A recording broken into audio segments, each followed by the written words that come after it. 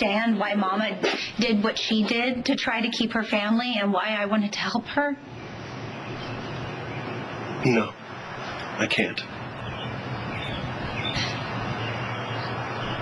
I know it's really hard to forgive. I'm having a really hard time forgiving JR myself. But I'm caught between two men that I called my father. Guys that I looked up to my whole life. They hate me now. Yeah, well, I'll join the club. I meant it when I asked for you to be my mom. My mom's gone.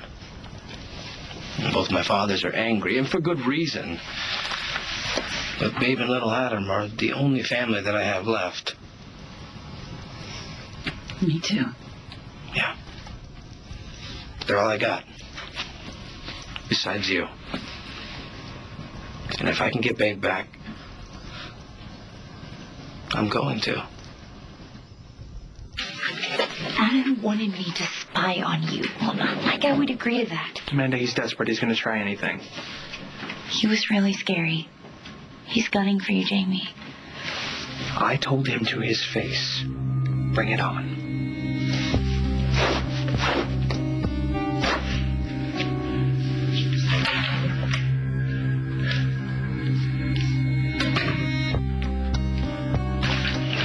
Oh, Janet, thank God.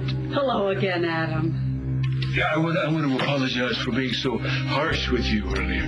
I understand. I just came to check on you. I'm feeling better.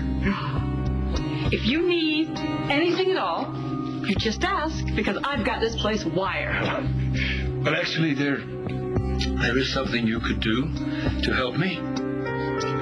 And maybe then I can help you in return. Stay tuned for scenes from the next All My Children. On the next, All My Children. Be in touch. That woman walked through this door and it completely changed your life. I think delirium is setting in. Julia warned me. Please, Freddie, please don't do this terrible thing.